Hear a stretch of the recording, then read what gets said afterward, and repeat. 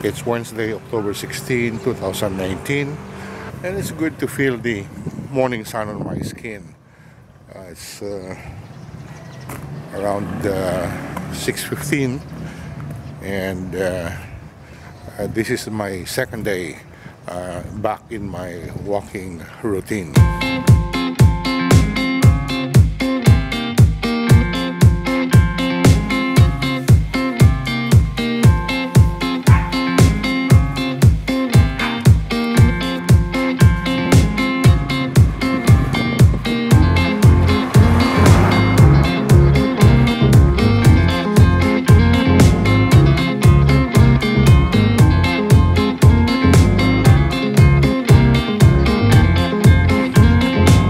Many people could not just quite understand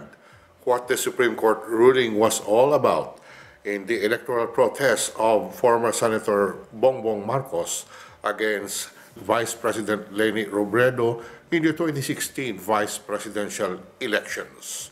First, the Supreme Court voted to release the initial findings of the uh, committee, of the Manual Revision Committee, uh, chaired by Justice Benjamin Caguioa, and directed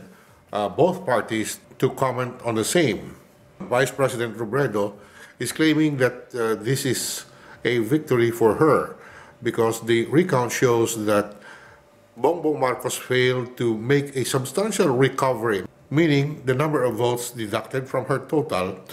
was not substantial enough to show that it could overturn or reverse the outcome of the vice presidential uh, race. But on the other hand, the Supreme Court ruled to dismiss the motion of Vice President Robredo to dismiss outright the protest case filed by Marcos. So what does this mean? This means that the protest case filed by Marcos is still very much alive. The Supreme Court could take much longer in ruling whether or not there is basis for Marcos to ask for the nullification of Robredo's proclamation and install him as the legitimately elected vice president of the country. I would bet that most people are talking about the uh, Supreme Court uh, decision or non-decision regarding the um, election protest of former Senator Bongbong Marcos against uh, Vice President Leni Robredo. Well, I think at issue here is the term uh, substantial recovery in the number of votes after the manual revision was completed for the three pilot provinces, Iloilo, Camarines Sur, and Negros Oriental. It should be remembered that one issue uh, that was uh, tackled by the Manual Revision Committee chaired by Justice Benjamin Caguioa was the shading threshold, which uh, the Caguioa Committee ruled should uh, should follow the 25% uh, shading threshold and not 50% as contained in the rules and procedures. One of the core issues here is the uh, the one of the core issues here is the is the phrase uh, substantial recovery in the number of votes. If you will remember, uh, there was this issue about the uh, shading uh, threshold uh, where thousands of ballots were found to have just mere scratches uh, which barely made which barely covered 25% of the small small dot uh, across the name of Leni Robredo. The Caguioa Committee ruled in favor of uh, Robredo, who claimed that uh, the threshold should be at 25%, while the COMELEC rules uh, and uh, procedures uh, said that it should be a minimum of 50%. And in fact, there was massive there was massive information uh, campaigns done uh, before the 2016 elections in which uh, in which the the manner of shading was demonstrated, and it was very clear that the intention of the Comelec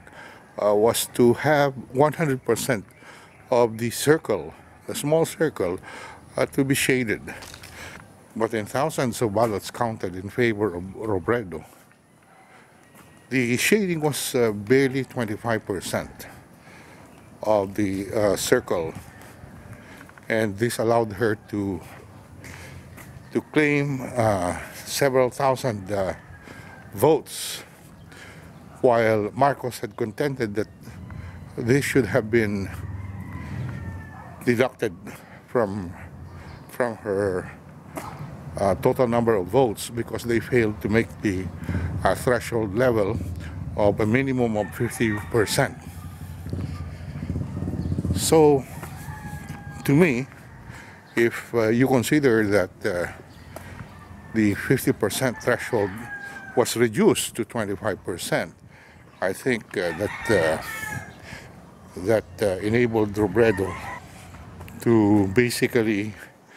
uh, get more votes than she deserved. And the manner the circles were shaded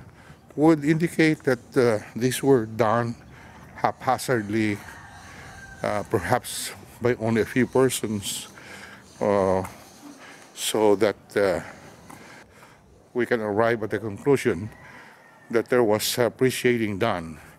uh, before the elections. So this would prove the so this would prove the allegation of Marcos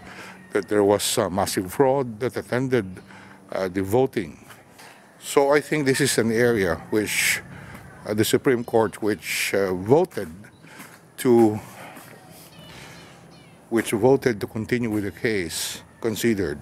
and overruled uh, the chairman of the manual recount uh, of the manual revision committee, Justice Caguioa, and the other uh, justice who voted to dismiss the complaint of Marcos, uh, Justice Antonio Carpio, uh, that they want to that the Supreme Court that the Supreme Court wants to really dig deeper uh, into the allegations of massive cheating. Because the will of the people could have been thwarted by these alleged irregularities uh, in the 2016 uh, elections.